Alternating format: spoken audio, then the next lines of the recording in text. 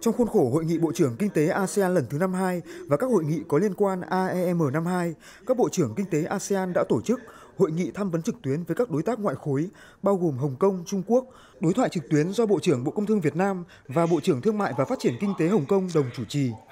Tại buổi đối thoại, các bộ trưởng đã ghi nhận tổng giá trị giao dịch hàng hóa giữa ASEAN và Hồng Kông Trung Quốc đã đạt 111.000 tỷ đô la Mỹ trong năm 2019, tương đương với 3,9% tổng giá trị giao dịch thương mại của toàn khối ASEAN trong năm 2019. Năm 2019, Hồng Kông Trung Quốc chiếm vị thế thứ bảy trong số các đối tác thương mại lớn nhất của ASEAN. Trong khi đó, tổng giá trị vốn đầu tư nước ngoài FDI từ Hồng Kông Trung Quốc rót vào ASEAN đạt khoảng 11,3 nghìn tỷ đô la Mỹ, tương đương 7% tổng FDI của ASEAN trong cùng thời kỳ.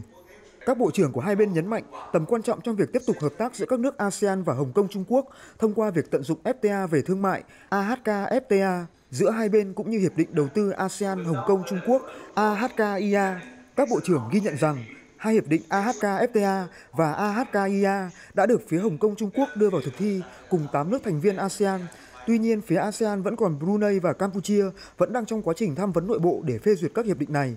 Do vậy, các bộ trưởng yêu cầu những nước chưa hoàn thành việc tham vấn cần đẩy nhanh tiến độ tham vấn trong nước nhằm đưa hai hiệp định này vào thực thi vào cuối năm 2020.